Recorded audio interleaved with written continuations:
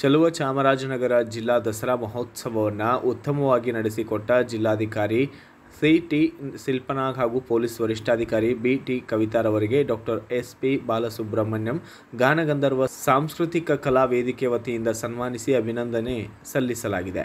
ಇದೇ ವೇಳೆ ಅಪರ ಜಿಲ್ಲಾಧಿಕಾರಿ ಗೀತಾ ಹುಡೇದ್ ಹಾಗೂ ಜಿಲ್ಲಾ ಪಂಚಾಯತ್ ಉಪ ಕಾರ್ಯದರ್ಶಿ ಲಕ್ಷ್ಮಿ ಅವರಿಗೆ ಸನ್ಮಾನಿಸಿ ಗೌರವಿಸಲಾಗಿದ್ದು, ಈ ಸಂದರ್ಭದಲ್ಲಿ ಮಾತನಾಡಿದಂತಹ ಎಸ್ ಪಿ ಬಿ ಗಾನಗಂಧರ್ವ ಸಾಂಸ್ಕೃತಿಕ ಕಲಾವಿದಿಯ ಜಿಲ್ಲಾಧ್ಯಕ್ಷರಾದಂತಹ ಮಂಗಳ ಹೊಸೂರು ಎಚ್ ಎಂ ಶಿವಣ್ಣ ಮಾತನಾಡಿದ್ದು ಹೀಗೆ.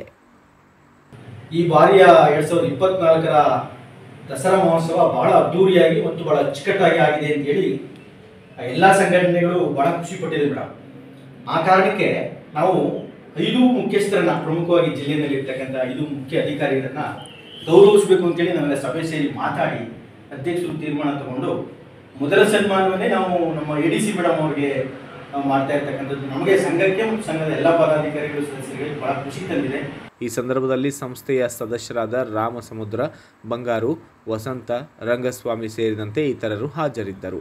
Bureau report, Swamy Balepete BV news Kannada, Chamarajanagar.